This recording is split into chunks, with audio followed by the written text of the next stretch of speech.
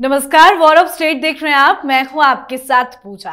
महाराष्ट्र विधानसभा चुनाव को लेकर कई दौर की मीटिंग्स किच किच बयानबाजी और अंदरूनी लड़ाई के बाद आखिरकार विपक्षी गठबंधन महाविकास अघाड़ी में सीट शेयरिंग पर सहमति बन गई है, जिसके अनुसार कांग्रेस, शरद पवार की एनसीपी और शिवसेना यूपीटी ने पचासी पचासी सीटों पर चुनाव लड़ने की घोषणा की है।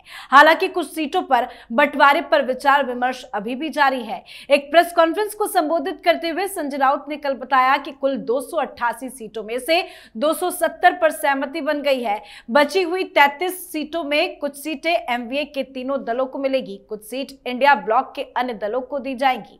हालाँकि अन्य दलों को कितनी सीटें दी जाएगी, ये अभी नहीं बताया गया है। तो सीट शेयरिंग तो हो गया, पर बड़ी खबर यह है कि सीट शेयरिंग के कुछ बड़े नेता काफ़ी ज़्यादा नाराज़ बताए जा रहे हैं। इसी बवाल के बीच बंजारा समुदाय के बड़े नेता माने जाने वाले महंत सुनील महाराज ने शिवसेना यूबीटी को अलविदा कह दिया है। पार्टी छोड़ते हुए उन्होंने उद्धव ठाकरे पर समय नहीं देने का आरोप लगाया है। और बताया तो ये जा रहा है कि अभी कांग्रेस भी टूटने वाली है। कांग्रेस के अंदर भी ज़बरदस्त कलह मचा हुआ है। खबर यह भी सामने आई कि छगन भुजबल के भतीजे समीर भुजबल, जो एनसीपी के मुंबई इकाई के अध्यक्ष थे, उन्होंने इस्तीफा दे दिया। उन्होंने नांदगांव विधानसभा सीट से निर्दलीय प्रत्याशी के तौर पर चुनाव लड़ने का ऐलान भी कर दिया है। साथ ही महायुति में बचे 106 सीटों को लेकर दिल्ली में अहम बैठक हुई है। तो महायुति और एमवीए की चुनावी अपडेट आपको देंगे। चर्चा के लिए मेरे साथ स्टूडियो में मौजूद है कैपिटल टीवी के editor in chief doctor Manish Kumar और executive editor Rajeev ji sir आप दोनों का बहुत बहुत स्वागत है। धन्यवाद। सर आखिरकार एमबीए में सीट शेयरिंग का फॉर्मूला सामने आ गया है। हालाँकि 33 सीटें अभी भी बची है। क्या अपडेट है? देखिए अपडेट ये है कि अभी तक मामला जो है डवाडोल है। अब जिस पैंसठ सीटों के ऊपर उम्मीदवार उतारने का ऐलान कर रहे हैं। उद्धव ठाकरे, सात के ऊपर दावेदारी कांग्रेस पार्टी और एनसीपी ने शरद पवार ने डाल दी है। ये किस तरीके से बंटवारा हुआ ये समझ में नहीं आ रहा है। अभी कुछ देर पहले संजय राउत आए, उन्होंने घोषणा कर दी कि भाई कुछ उम्मीदवारों को हम वापस लेंगे। डिक्लेयर कर दिया उम्मीदवार। ए बी फॉर्म भी दे दिया। और अब कह रहे हैं कि हम वापस लेंगे मतलब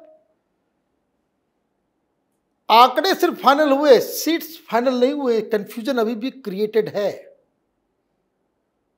और ये आगे चल के बड़े विस्फोट में कन्वर्ट होगा। अब उद्धव ठाकरे ने जिन सात सीटों के ऊपर उम्मीदवार खड़े कर दिया जिसके ऊपर दावेदारी हो रही है उसमें कांग्रेस पार्टी, रामटेक, बैंद्रा ईस्ट, नासिक पश्चिम, इस पे जो है, वो कह रही है कि भाई ये तीन को वापस लो। ये हमारी सीट है। अब उद्धव ठाकरे की तरफ़ से कहा जा रहा है कि नहीं, हम सब पे तो नहीं वापस लेंगे। उसी तरीके से, परभणी, परांडा, कुरला, बीड इन सीटों के ऊपर एनसीपी कह रही है कि भाई हमें दो ये हमारा सीट है। ये कहा आपने क्यों उम्मीदवार डिक्लेयर कर दिया? अब इससे बवाल मचा। तो अभी कुछ देर पहले संजय राउत आए कि भाई हम फिर से फाइनल लिस्ट निकालेंगे। ये क्या चल रहा है? क्या मज़ाक मज़ाक भाई आप ये समझिए। पचासी पचासी पचासी आपने कर दिया। तो अभी भी तो बचे हुए तैतीस। जो खबर इनसाइडर्स बता रहे हैं, वो ये बता रहे हैं कि नाना पटोले ने कहा कि 18 पे उनकी नज़र है। तो इशारा मिल रहा है, क्या मिल रहा है? इस 33 में से 18 उस पर कांग्रेस जो है वो दावेदारी करना चाह रही है। और 15 वो सीटें जाएगी समाजवादी पार्टी और बाकी जो इंडिया अलायंस के लोग हैं, वामपंथी और ये लोग उनके लिए 15 और 18 तो अभी ये जो बताया जा रहा है कि भाई सीट शेयरिंग का फॉर्मूला बन गया ये तो बनता हुआ साफ़ साफ़ दिख नहीं रहा है। ये नाना पटोले मीडिया वालों को कान में आकर के कह दे रहे कि अठारह सीट अभी हम लोगों का है अभी और तो पचासी प्लस अठारह एक सौ तीन। 103 का आंकड़ा शुरू से ही कांग्रेस पार्टी वाले कह रहे थे कि 103 पे लड़ेंगे 103 पे लड़ेंगे। तो ये जिद पचासी पचासी की क्यों ये ये अगर शिवसेना वो कोई खबर बता रहा था, सौ पे लड़ेंगे तो सेंचुरी मारेंगे तो ये करेंगे। अभी तो आप ये तो और ये कि समाजवादी पार्टी को भी देना है, वहाँ पे और भी लोगों को देना है तो ये सारी चीज़ें अभी कंफ्यूजन की स्थिति में है। मतलब अभी एक दो दिन और लगेगा, तब जाकर के ये महाविकास अघाड़ी का जो ये तीन अलग अलग साइज़ के पहिए वाली जो गाड़ी जो है कहीं पे जाकर के किसी पड़ाव पे जाकर के रुकेगी। मतलब अभी भी कुछ फाइनल नहीं हुआ है। सर कहते हैं तीन तिगाड़ा काम बिगाड़ा एक नहीं दो दो तीन इन्होंने छोड़ दिया यानी कि तैतीस सीटों की अभी तक घोषणा नहीं हुई है। ये तैतीस सीटें किस किस के खाते में जाएगी? क्या चल रहा है अंदर? देखिए तैतीस सीटों की बात नहीं है। ये पचासी पचासी सीटों का जो फार्मूला बनाया ये फार्मूला में भी कई सीटों पर पेच फंसा है जैसा डॉक्टर साहब ने भी बताया। कि सीट इन लोगों ने अनाउंस किया है। ये क्यों अनाउंस किया? क्योंकि भारतीय जनता पार्टी का जो गठबंधन है, महायुति, उन लोगों ने पहले से तय कर लिया और इन लोगों ने अपने कैंडिडेट भी उतार दिए। निन्यानवे सीटों पर कैंडिडेट उतार दिया। भारतीय जनता पार्टी ने पैंतीस सीट पर एनसीपी ने अड़तालीस सीट पर, शिवसेना ने, अब एकनाथ शिंदे ने भी उतार दिया। लेकिन सीटों पर उतारना या फिर आपस में मंथन करना, बैठक करना वो अलग बात है और सीट शेयरिंग के बीच झगड़ा करना दूसरी बात है। ये मैसेज क्या जा रहा था। सीट शेयरिंग पर इन लोगों ने भी बैठ के की और अभी भी महायुति की बैठक चल रही है। लेकिन एक भी नेता महायुति के अंदर का, यानी अजीत पवार हो, सबसे अलग थलग तो अजीत पवार ही रहते हैं। उन्होंने भी एक बार कहा कि नहीं बहुत परेशानी हो रही है हमें सीट नहीं दी जा रही है हम और ज़्यादा डिमांड कर रहे हैं। उन्होंने भी नहीं कहा नाथ शिंदे ने कहा। तो मैसेज जा रहा है कि ये लोग बैठक कर रहे हैं एक सहमति बनाने के लिए। और दूसरी तरफ़ ये महाविकास अघाड़ी में मैसेज क्या जा रहा था कि हर मीटिंग में झगड़ा करके बाहर निकलते हैं। संजय राउत ने कहा नाना पटोले को हम देखना नहीं चाहते हैं। कांग्रेस बैकफुट पर आई और उन्होंने बाला साहब थोराट को आगे बढ़ा दिया। मतलब एक दूसरे पर छीटाकसी कर रहे हैं, झगड़ा कर रहे हैं। तो ये इन लोगों की मीटिंग जो हुई, और शरद पवार ने कहा कि देखो, हम लोग मीटिंग करते रहेंगे, लेकिन ये जो बाहर मैसेज जा रहा है कि फाइनल होगा ही नहीं, उसमें कम से कम एक फार्मूला डेवलप करते हैं कि लगभग बराबर बराबर सीटें, क्योंकि मामला अटका कहाँ है? शिवसेना कह रही है कि कांग्रेस और हम दोनों सौ सौ सीटों पर हो सकता है। दूसरे को कितना भी दे दो, कोई मतलब नहीं है, लेकिन मेरे से ज़्यादा सीटों पर चुनाव मत लड़ो।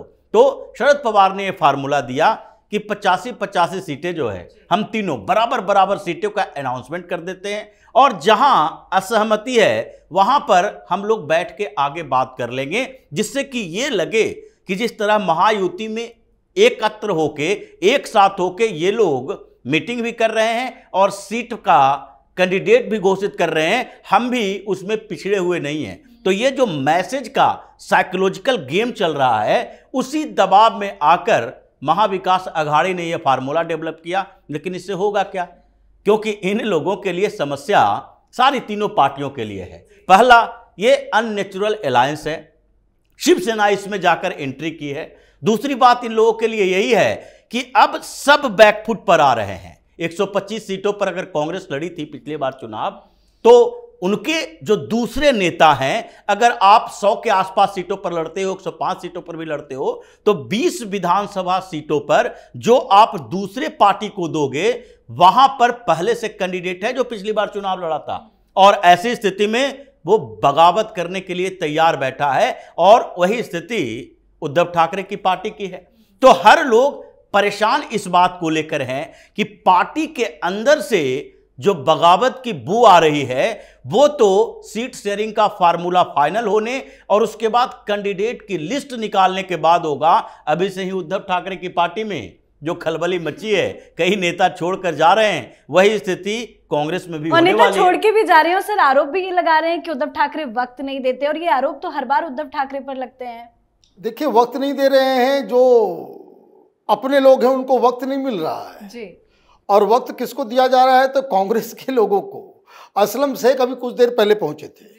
और उन्होंने कहा कि बरसोवा से मेरा भतीजा चुनाव लड़ना चाह रहा है। आप अपने उम्मीदवार को पीछे कर लो। आप समझिए। आप दूसरे को समय दे रहे हो। बरसोवा की सीट खाली करने को तैयार हो गए। क्यों? क्योंकि असलम शेख आए हैं।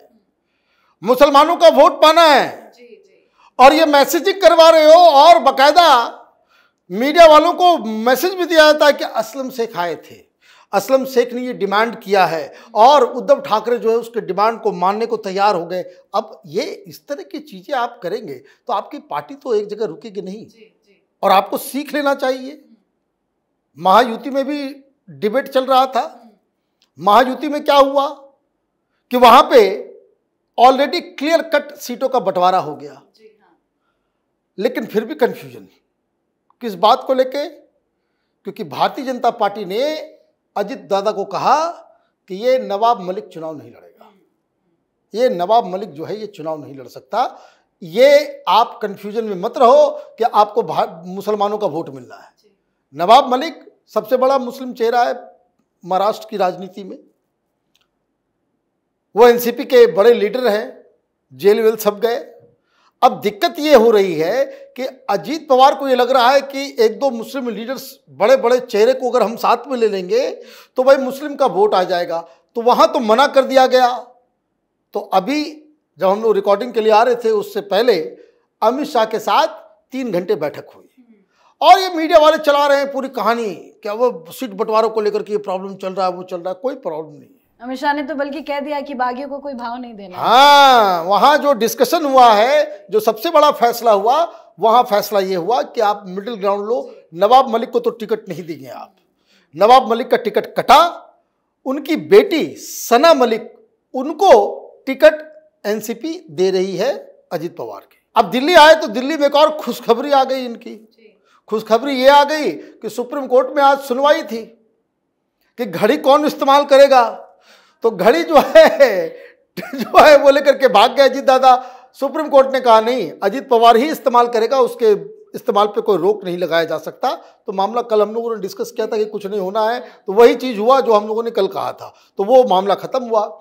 बड़ी खबर ये आ रही है महायुति में कि जैसे कांग्रेस पार्टी, शिवसेना और शरद पवार, इन लोगों ने अलग अलग अपनी अपनी पार्टियों के अंदर अलग अलग मैनिफेस्टो कमेटी बनाई है। इन लोगों का, तीनों का अलग अलग मैनिफेस्टो आना है। भारतीय जनता पार्टी ने आज तय किया, अजीत पवार, अमित शाह और सिंधे के साथ जो बैठक हुई, उसमें कि तीनों ही पार्टियों की एक एक मैनिफेस्टो आएगा, जो अगले सप्ताह आ जाएगा। अपने अपने लोगों को आप डालेंगे, वो कमेटी के साथ जो है बैठ करके। तो एक तरफ़ क्लियर कट थॉट प्रोसेस बंटवारा क्लियर और मैनिफेस्टो भी एक जैसा। तो ये सारी चीज़ें क्या बता रहा है कि we have got two sets of alliance एक अलायंस जहाँ गाली गलौज चल रहा है लीडर इसका कौन है पता नहीं है। जो प्रॉब्लम्स को सुलझा सकता है, वो खुद प्रॉब्लम का हिस्सा हो गया है। भाई, अगर छोटे छोटे लोग लड़ रहे होते तो शरद पवार का की ड्यूटी थी कि भाई उसको वो मना लेते वही फादरली फिगर है इस गठबंधन के। वो तो खुद उन्होंने सबको लड़ा उड़ा करके भाई कांग्रेस पचासी हम भी पचासी और शिवसेना भी पचासी पचासी पचासी लेकर के चले गए। उनको टेक्निकली मिलना था पचास लेकिन वो पचासी लेकर के अपना निकल लिए। तो ये आप देखिए कि एक तरफ़ महा ट्रबल अलायंस है ये महा अघाड़ी नहीं वो संजय निरुपम, ये पुराने संजय राउत संजय राउत पुराने इसलिए कि संजय निरुपम जो है पहले शिवसेना में थे और जो सामना अखबार के एग्जीक्यूटिव एडिटर जो संजय राउत हैं, वो संजय निरुपम थे।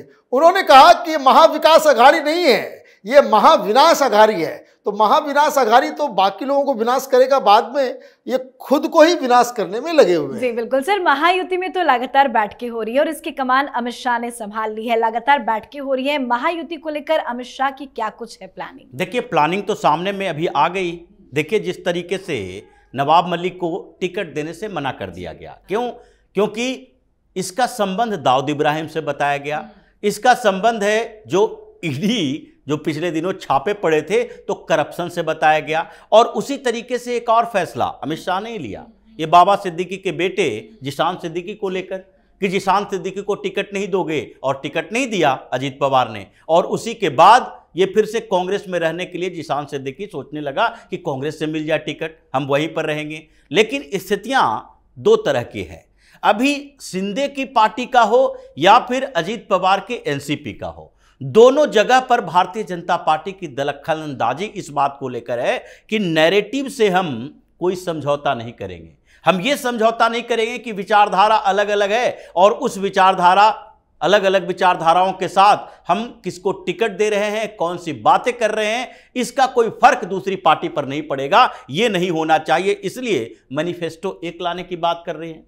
और स्ट्रेटजी स्पष्ट है कि देखो भाई, जहाँ जहाँ जिसकी मज़बूत स्थिति रही है, वहाँ हम अपने लिए कोई मांग नहीं करेंगे, तुम्हें इजिली मिल जाएगी। और यही फार्मूला रहा, जिससे कि अजीत पवार, जो इतने दिनों से, थोड़े समय बीच में अनकंफर्टेबल हो गए थे कि शिंदे और बीजेपी के साथ रहना मुश्किल है, क्योंकि इनकी पार्टी के नेता हमारी बेजती कर देते हैं मीटिंग के दौरान। लेकिन फिर भी जब नेशनल लीडरशिप की तरफ़ से कहा गया कि ये छोटी मोटी बातों पर ध्यान देंगे तो हमेशा उलझे रहेंगे छोटे मोटे राजनीति में। इसीलिए आप क्लियर कट सोचिए कि हर व्यक्ति, अगर कोई किसी ने कुछ बोला तो इसका मतलब ये नहीं है कि उसे पार्टी से बाहर निकाल दिया जाएगा। लेकिन आपको सम्मान कौन से बड़े नेता दे रहे हैं, इस बात को ध्यान में रखना है। इसलिए अभी प्राथमिकता जीतने के लिए है, अभी छोटे मोटे विवादों में जाने के लिए नहीं है। और यही बात है कि आज महायुति में जिस तरीके से आगे बढ़ा जा रहा है, सीट शेयरिंग से आगे,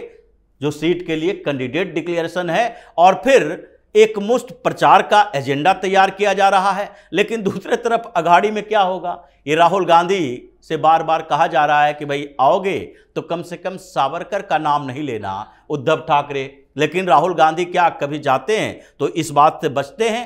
शरद पवार भी इससे नाराज़ चलते हैं। लेकिन इन तीनों पार्टियों का अगर एक मैनिफेस्टो हो जाए तो क्या सेकुलरिज्म पर इतना ज़्यादा समझौता उद्धव ठाकरे की पार्टी कर पाएगी जितना कि कांग्रेस पार्टी बात करती है? तो ये समस्याएँ महाराष्ट्र के अंदर इन लोगों के लिए इसलिए है क्योंकि अघाड़ी में उद्धव ठाकरे शामिल हो गए हैं और ये एक अननेचुरल गठबंधन है। शरद पवार और कांग्रेस की दिक्कत नहीं है। ये दोनों एक साथ चुनाव लड़ते रहे हैं। अब ऐसी स्थिति में कार्यकर्ता कंफ्यूज नीचे के लोकल लीडर कंफ्यूज और उस कंफ्यूजन में लग रहा है कि चुनाव परिणाम बड़ा चौंकाने वाला आएगा। बिल्कुल सर बहुत बहुत धन्यवाद सर आप दोनों का। धन्यवाद। तो महाराष्ट्र चुनाव को लेकर अब लगभग सीट शेयरिंग महायुति और महाविकास अघाड़ी में हो चुका है। एमवीए में बचे 33 सीटों को लेकर मंथन भी आखिरी दौर पर है जल्द इसकी घोषणा भी हो जाएगी। महायुति के भी बची हुई सीटों का ऐलान जल्द संभव है जिसको लेकर फाइनल दौर की मीटिंग्स हो रही है। तो महाराष्ट्र चुनाव पर आप अपनी राय कमेंट कर लिखें देखते रहे कैपिटल टीवी। नमस्कार।